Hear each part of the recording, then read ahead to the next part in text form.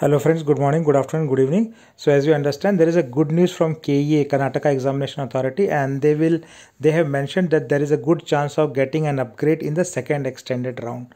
So this is based on the special note they have uh, given just now, right? And uh, if you see the note which has come from KEA, it, it says that as more number of engineering, architecture, agriculture, veterinary, etc.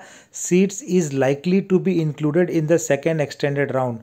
We don't know the reason why more seats will be added in the engineering, architecture, agriculture, veterinary round. It may be because there may not be any k, exclusive round and those seats may be added into this KCET round. Maybe because of that they are mentioning that candidates may, may have a chance to upgrade their seats in the second extended round. So if this is true, then more seats will be added in the second extended round.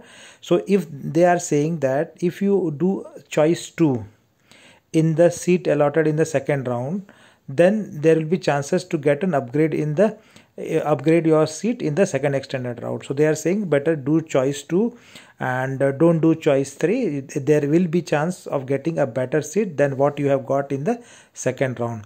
And it, but it is left to candidates discretion to select the appropriate choice cautiously. So they are not forcing you. You do your own choice. Choice 1 choice 2 choice 3 or choice 4 but they are saying that if you do choice 2 there are good chances that you will get an upgrade because more and more seats are going to get added. It may come from COMEDK or it may come from a new seats which are going to be added.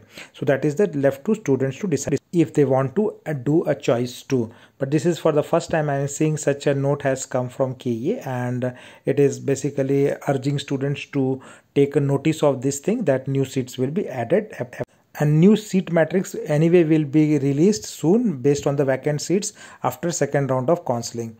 So um, wait for this thing and choice 2 will be good choice as per the key itself.